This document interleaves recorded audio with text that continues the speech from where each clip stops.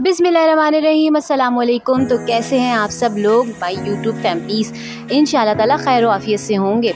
तो जैसा कि आपको वीडियो में नज़र आ रहा है कि हम आपके लिए लेके आए हैं फ़ालसा आइसक्रीम, जो कि बहुत ही मज़ेदार होगी और आप घर में बहुत आसानी से बहुत ही कम पैसों में बना सकते हैं, क्योंकि आज फाल, आजकल फ़ालसों का जो है वो सीज़न बहुत ज़्यादा है। हर जगह आपको फ़ालसे मिल जाएँगे और अगर ये थोड़े रखे हुए फ़ालसे हों और जो कि थोड़े से नरम हो जाते हैं, अगर आप उसकी आइसक्रीम बनाएँगे तो बहुत ही मज़े की लगेगी।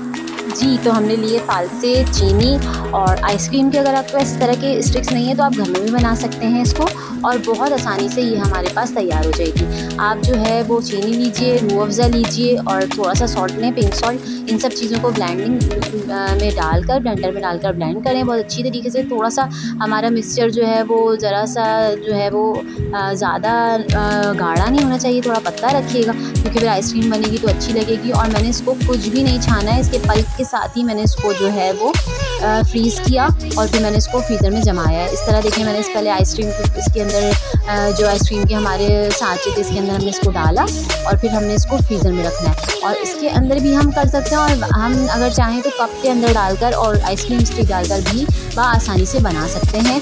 और आप इसको स्टॉक भी कर सकते हैं। आप जब मूड हो बच्चों का, उसको निकालें, खाएँ और बहुत ज़्यादा जो है इससे मज़ा उठाएँ।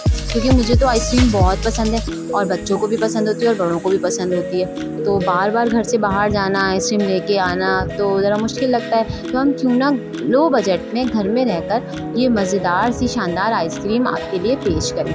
तो मैंने देखे मैंने ये सारा कुछ इसके अंदर मटेरियल भर दिया था। और उसके बाद मैंने इसको रख दिया था फ्रीज़र में। और मुझे इसको फ्रीज़र में तकरीबन तकरीबन मैंने तो वैसे सारी रात रखा लेकिन बारह घंटे में, तेरह घंटे में ये देखिए मैंने इसको फ्रीज़ किया तो आप लोग भी इसको इस तरह फ्रीज फ्रीज़र में रखें।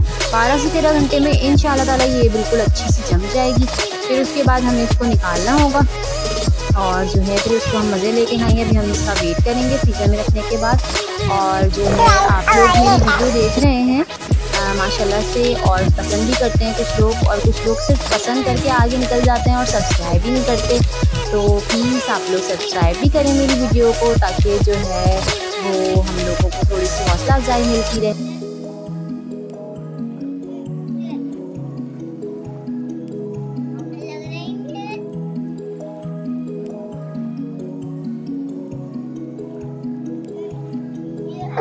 ये देखें, सोहेब को बहुत अच्छी लगी आइसक्रीम और सोहेब बोल भी नहीं पा रहे हैं ये लग रहा ही नहीं है कि घर की आइसक्रीम है।